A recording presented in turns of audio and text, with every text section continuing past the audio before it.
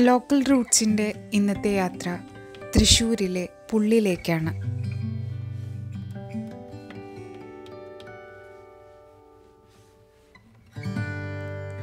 വിരുന്നെത്തുന്ന ദേശാടന പക്ഷികൾ പുള്ളിന്റെ പ്രത്യേകതയായി സഞ്ചാരികൾ കണക്കാക്കുന്നു.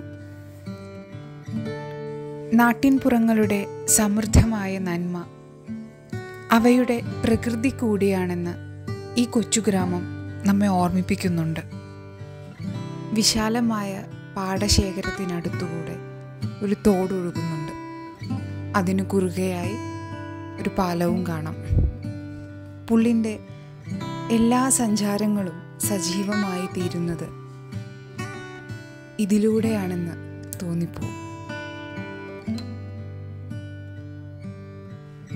പ്രകൃതിക്ക് മനുഷ്യന്റെ ശ്വാസഗതിയെ പോലും നിശ്ചയിക്കുവാൻ കഴിയുന്നു.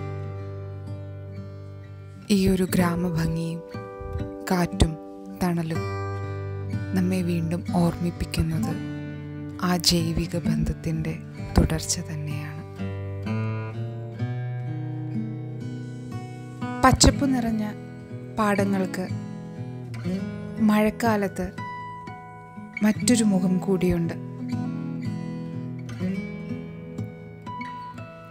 സൗമ്യമായ ഗ്രാമാന്തരീക്ഷവും പാടങ്ങളും പുള്ളിനെ ലളിത സുന്ദര ഗ്രാമമാക്കി തീർക്കുന്നു.